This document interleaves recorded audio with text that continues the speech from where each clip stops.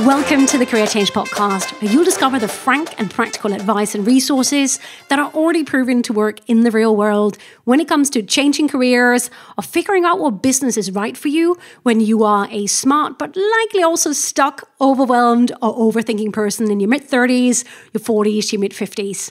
I'm your host, Rikke Hansen, a career change advisor, entrepreneur, and former corporate HR professional with over 15 years' experience of helping thousands of people just like you identify identify or create careers or businesses that are both meaningful and future proof. Welcome home. Hey, it's Rikke Hansen here, and welcome to episode two of the Career Change Podcast. This episode is going to be all about what to do when you have too many ideas or too many passions. How do you figure out which one or which ones are best for you, most suited for you when it comes to changing careers or starting the right business?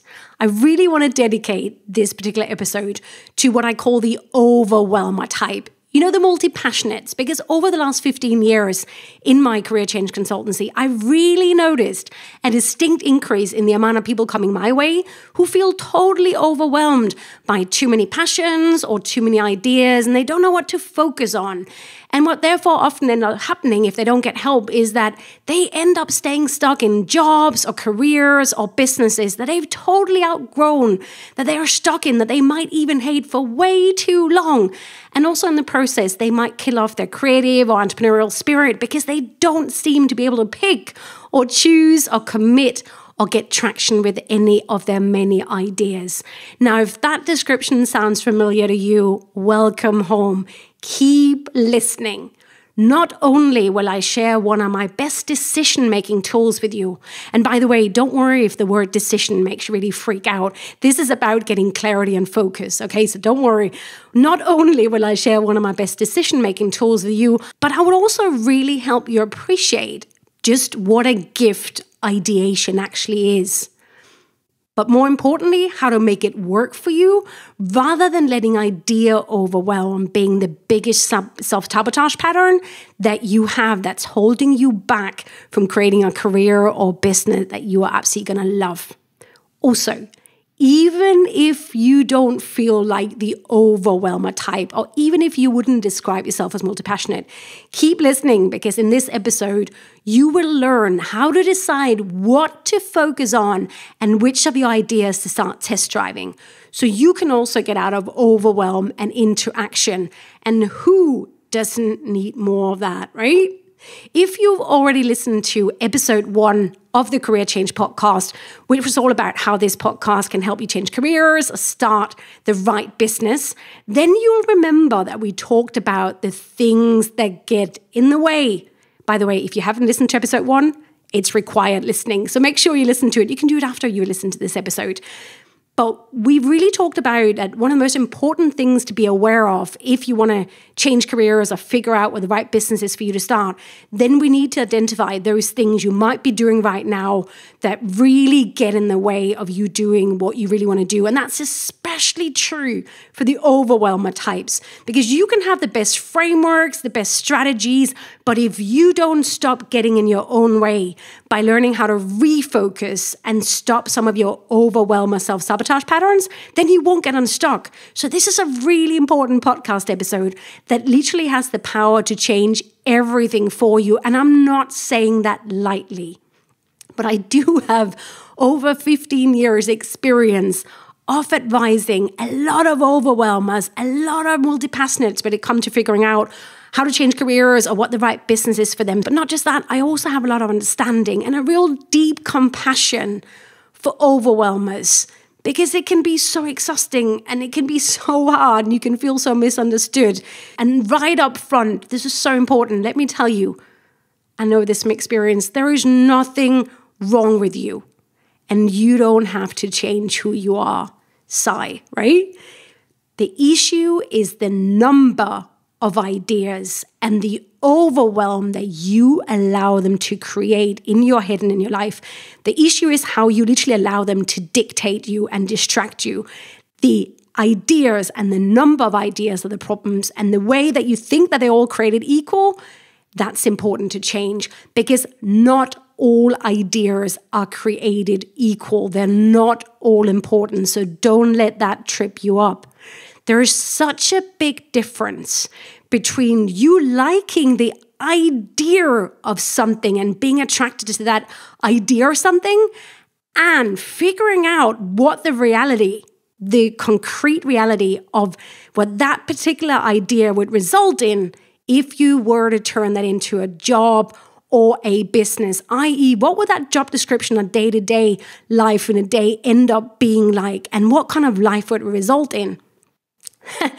Can you see? Not all ideas are created equal. They're result in very different day to day lives. So we need to get you out of that blind attraction phase, like vague idea phase, and into the real life feedback and interaction phase as soon as possible. So it's not just the idea of, but knowing what the reality of turning that idea or passion into a career or business would be like. Okay.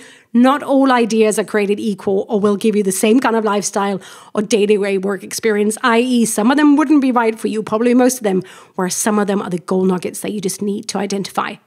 But let's make sure we're on the same page.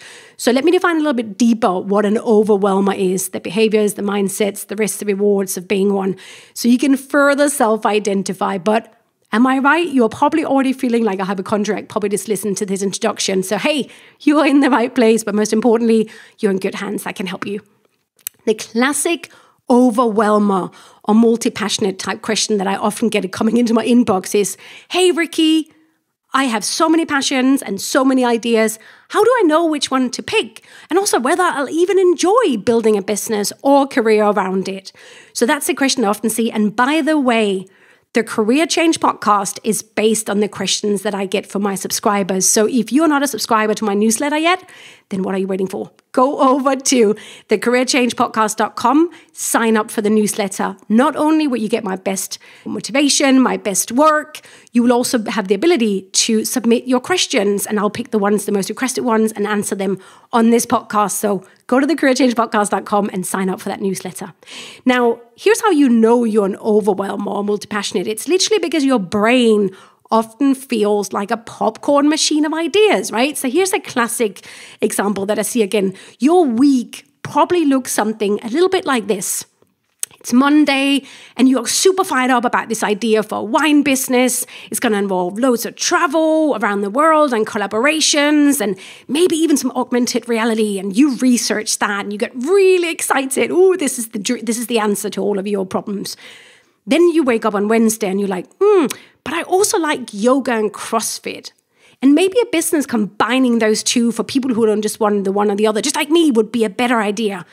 And then by Friday, you're like, oh, but I also like healthy eating. Maybe I should start with an online course around that.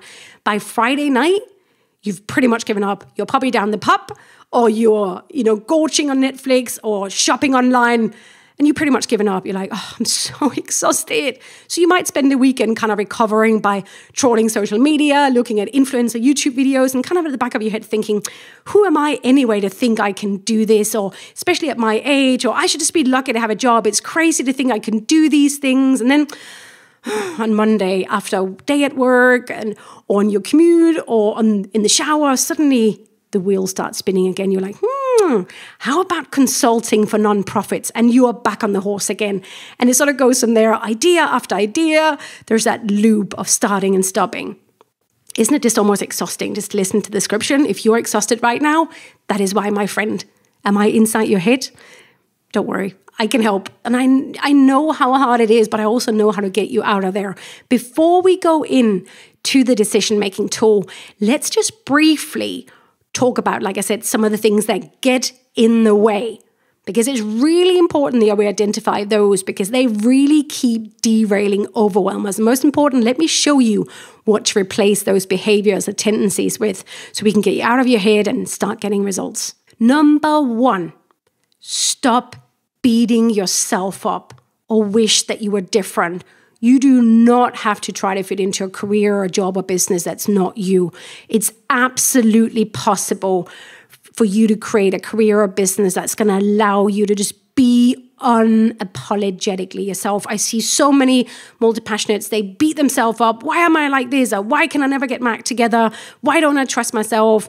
Overwhelmers, creatives, multi passionates, they often feel misunderstood alone or like the odd ones out, like a jack of all trade. People don't really see them as committed types. They feel like they have nothing to show for it.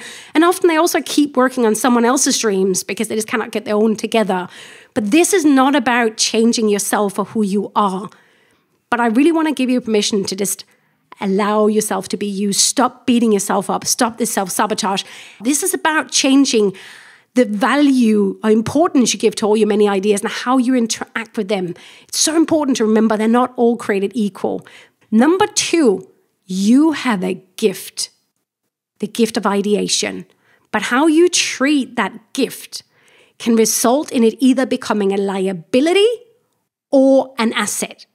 Here's what I mean by that. I really love working with passionate people because they have an incredible asset potential. James Altucher, the author, wrote that ideas are the currency of the new economy. And this is so true. Going forward, if you know how to come up with really amazing ideas and choose the right one, turn it into reality that works for both you and the market, whether that's a portfolio career or a business, you are so incredibly placed because that's the way the world of work is going the skill of ideation is going to be just increasing in value. And it also means that being a career changer or being someone with a portfolio career or, uh, or as an entrepreneur, this is the world for you. You just need to get cracking. But it needs to become an asset for you, not a liability. So here's what I mean by that this ideation gift, this idea to come up with a lot of ideas, it is a liability if you just keep dabbling and you keep jumping from one idea to the other and think they're all equally important. That is a liability because that kind of dabbling all over the case kind of behavior tends to result in a lot of exhaustion. I often see a lot of overwhelmers with health issues or often also anxiety and depression. And often they end up not knowing how to deal with this overwhelm, all of these passions, all of this creativity by going into things like overeating or overworking or all kinds of addictions of all kinds. We probably don't need to go there right now. Let's keep it clean. But you know what I mean. In the way to go from liability to asset is to be a verb, not a noun, i.e., actually starting behave like an entrepreneur, starting to behave like a career changer, i.e., take action, start getting out of your head, interacting with the real world, and create something you can be proud of that's yours. Get real life feedback. Go from liability to execution you know, go from that idea state and overwhelmed to actually picking something, exploring it, and get real life feedback. Because if not, you might just look back at a life of what it could have been, spending your life in the corridor of possibilities, but never really opening a door, going in and creating something. Okay. Now, I did mention this before. And also, just in case you're new to my work, my style is very frank and honest, but it comes from a big heart. So I am not about vague or fluffy discussions. Your life is too short. You need to get cracking. So I really want this podcast to be a, a wake up call for you to start creating to start taking action, to get out of that unstuckness and wallowing in all of those ideas and start making your mark on the world. The worst thing you can do as a multi-passionate, as an, you know, an overwhelmer is to stay in indecision and idea wallow mode and think that all of your ideas and passions are equally right for you. They are not. Give yourself the gift of making a decision. Let me say that again because it's such a beautiful phrase. Give yourself the gift of making a decision. Here's why you can always change your mind down the line once you have actual real life feedback, but not before. So let's talk about that.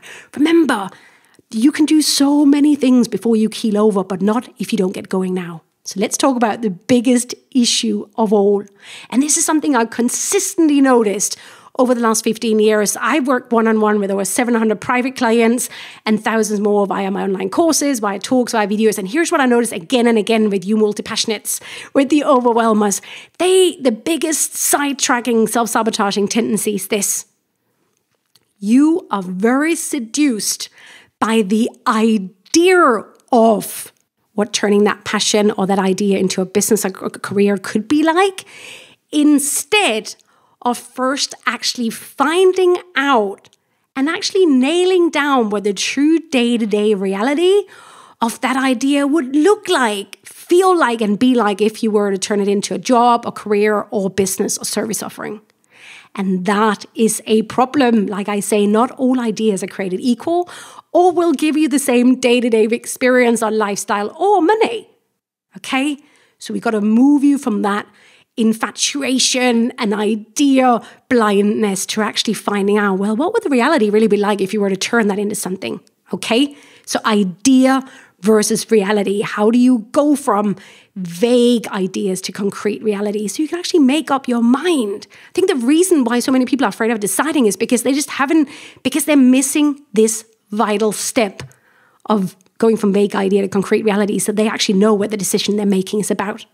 Okay? So right now, I see this again and again. If you're really fed up with a career or job or profession or business you're in right now, then it can be so easy to latch onto and glorify the ideas that you have, the passions that you have, that you want to you want to turn into something instead of actually figuring out what the reality of turning them into a job or career or business would be like. And the tool that I share with you will take care of this problem so often I see people being so in love with the idea of what their passion could be like that they don't do the groundwork whatsoever to look into whether the idea of something actually matches the reality, right? Okay, so introducing what I name the job description test you could also call it the idea clarity test, but I like the, the word job description because whether you're an entrepreneur or you have a job, we all have job description in the sense of we all have a list of things that we need to do every day. Okay. So this will show you how to go from vague idea to concrete reality.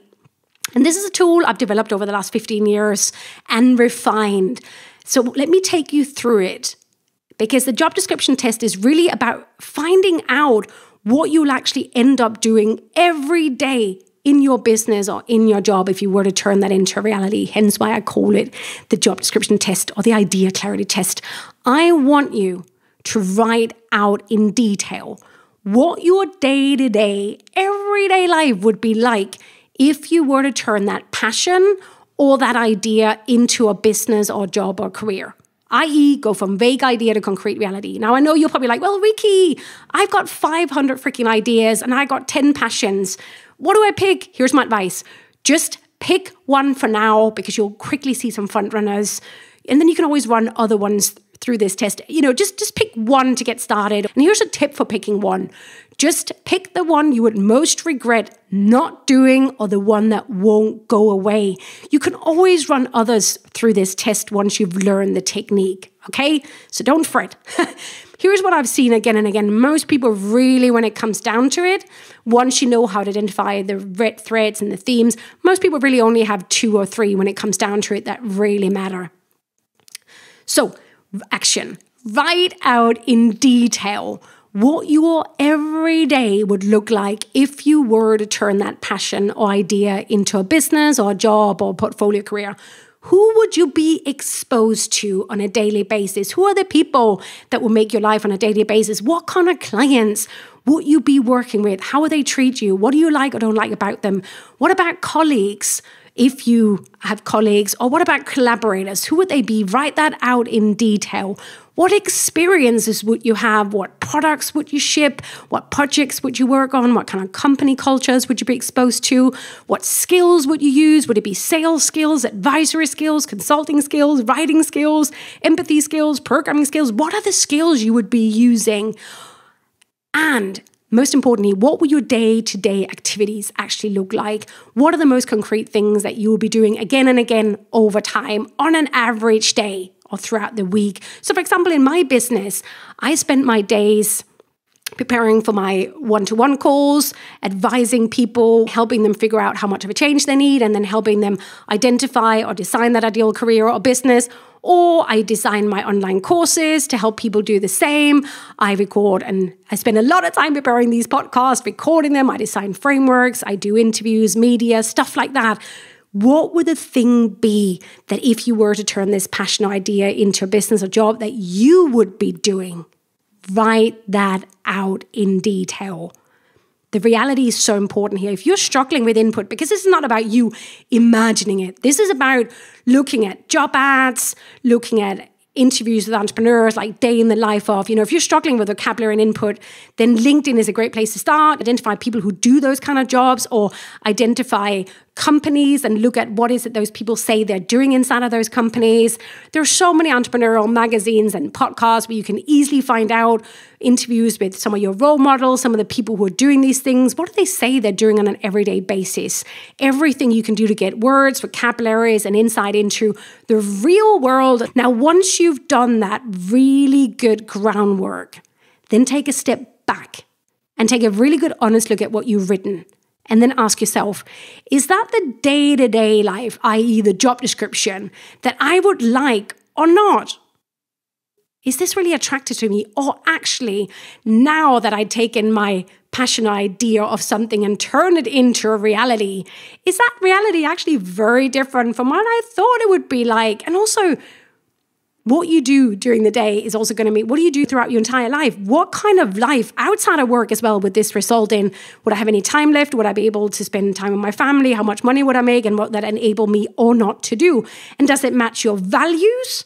And the skills you actually want to do, what you want to do all day, those ideas you have of what you really want to do, does it match that reality? If you do the job description test properly, you will very quickly get a yes or a yeah kind of feeling, which is always what you want to go for. And that's how you can quickly see whether you got some really good raw material to work with, i.e., whether that passion or idea is actually worth spending more time on. And then you can potentially put a few more ideas of passion through the job description test filter. And very, very quickly will you end up with some very exciting front runners. And in the process, you will free up so much space in your head and in your energy levels. Now, once you might have found one or two front runners and there's a struggle between which one to pick, you might realize that, and I do this again with my clients all the time, that those couple of front runners, they actually have a lot of things in common. They might just be called something different, but there's a theme or red thread. So you can combine those one or two or three into a really unique business concept, an umbrella career or portfolio career, right? And what I mean by that is often this is definitely what I recommend and what's worked best with my clients over the year. If you are the multi passionate, if you are the overwhelmer type, then often it's a really bad idea to just rely on one job or one employer, like old school style, like in the last century. You're much better off doing this kind of portfolio career where you might be offering several things, but there is a theme that combines all of those so people are confused. Or you, you start a business that will allow you to expand over time right? So that's why if you try to fit into one job, it's probably a lot of trouble for you, whereas you're probably a lot better off being an entrepreneur or someone with a portfolio career. This is why this exercise is also important because it can help you figure that out. And once you realize what the reality would be, or you, at least you get a better idea of it, you will just see how so many of them, that idea really didn't match the reality.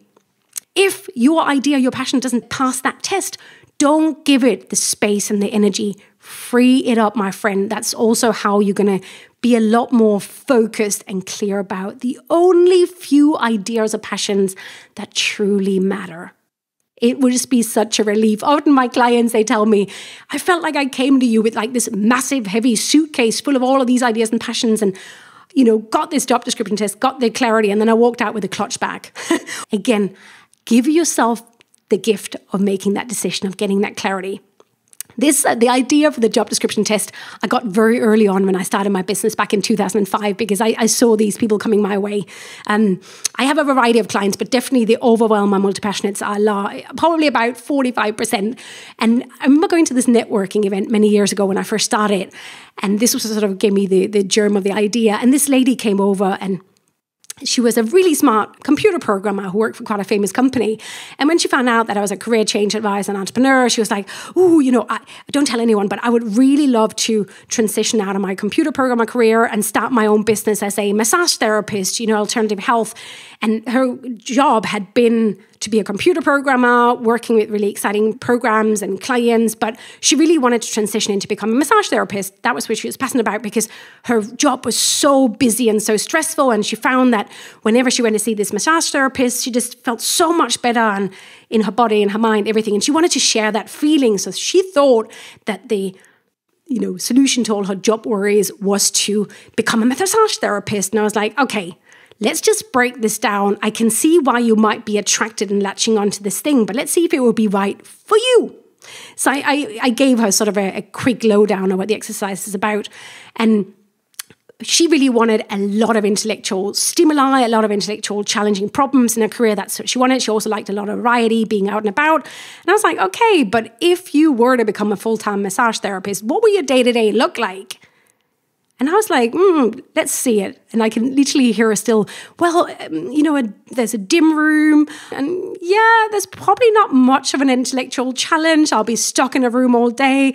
My clients will be too zonked out from actually having a conversation. And yeah, I'm not sure. Like the intellectual stimuli is really a big issue, and I want to be out and about doing a variety of things. It probably would be quite repetitive. Now, this is an extreme example, but do you see what I'm getting at here? Be careful not to latch onto something being the saving grace for all your problems if it's not the, the reality that you actually want at the other side of it. Okay. Your biggest enemy is right now is likely the fact that you are so attracted to the idea of what that passion would be like turn into a business or a career that you forget to look at doing the reality check. Make sure you do the job description test and that you can then get some front runners that you can go out and test drive. Okay? So important.